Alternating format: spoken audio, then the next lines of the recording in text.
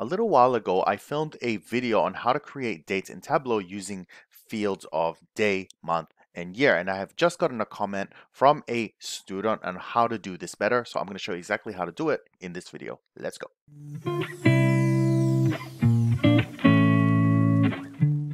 So here we are in Tableau and I'm going to bring over the comment.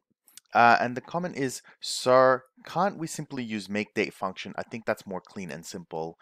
Uh, so I looked at this function and I was like, yeah, it's so much easier. I don't know why I've been doing it the other way for like the last three years. No one has ever mentioned anything to me of like, hey, just use make date. So Krish uh, Cheda, which I think I recognize your name. Uh, I'm not sure if you're uh, one of my Udemy students, but yes, that is way easier. So thank you so much, Krish, for actually giving that tip. And it just reminds me uh, that look, doesn't matter how good you get at Tableau or any software or anything we do, there's always things that we don't know. So it's good to keep an open mind and admit the fact that we don't know everything. I don't know everything. I'm still learning. So let's share with the world, Krish, this awesome tip. So let's go. I have got a data set here called date control. And if you want to follow along, um, the there's a link in the description below, which will let you download it off my Google Drive. Here we are. So very important uh, to do this is to store the numbers you're going to be using to create the date as numbers. Very important. Now you can um, convert this to a number afterwards, but you know, obviously, hopefully it's easier if it's already done in your data set. So here we go. And we're going to go sheet one and I'm going to create a formula. So create calculated field. Okay, and we're going to go date. Now here's the funny thing, Krish, I'm, I'm talking specifically to you. If I type in date, I always just notice this date. I never noticed this make date, make time before.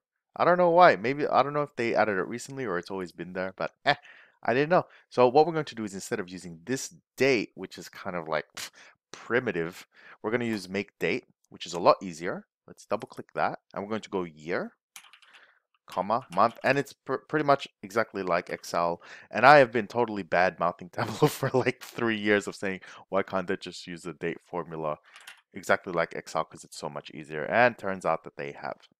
Um, okay, I've typed them in, but they haven't converted. Oh, I think I know why. I'm supposed to press enter. So do that again. Year. There we go. Comma.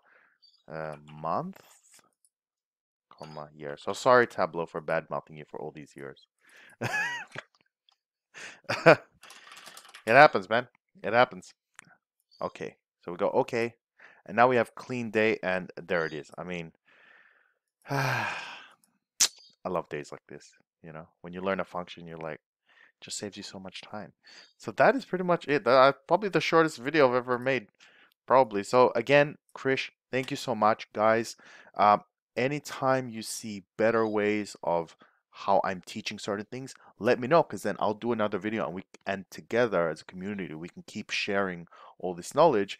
And you never know, some of this stuff can help out that um, the student who's just starting their computer science or a primary school student who's like wanting to know more about data. I mean, I never know who's watching these videos. So again, thank you and have a good weekend, guys, or have a good day, depending on what day you watch this. So bye.